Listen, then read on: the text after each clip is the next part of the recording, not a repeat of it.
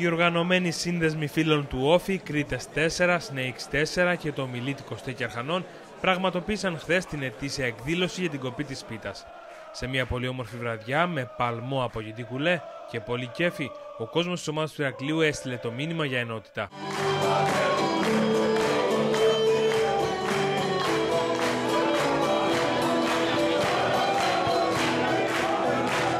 Το παρόν έδωσε σύσσωμο το ποδοσφαιρικό τμήμα αλλά και η διοίκηση με την αντιπροσωπεία της να αποτελείται από τους Άντζελο Παλιβό, Γιώργος Σαμαρά και Ηλία Ποσανίδη, ενώ επίσης παρευρέθηκε ο διευθυντής ποδοσφαίρου Γιάννης Σαμαράς και ο team manager Παύλος Αδάμος. Ξεχωριστές ήταν οι βραβεύσεις που έγιναν στη χθεσινή βραδιά, αφού τιμήθηκε ο Γιώργος Σαμαράς, ο Νίκος Παπαδόπουλος, ο Χάιμε Βέρα και ο Αλεχάνδρο Ισή.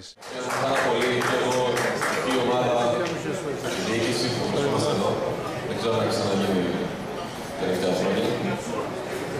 Ελπίζω να γίνει ένας θεσμός, η ομάδα μας στον κόσμο να είναι ένα και να προχωράμε για τις εθνικέ μας. Εύχομαι υγεία να έχουμε και όλα καλά θα τα στην πορεία. Να είστε καλά, καλή χρονιά. Εύχομαι στα παιδιά, στο Χάιμο και στον Αλεξάνδρο καλή επιτυχία και να υλοποιήσουμε στόχο.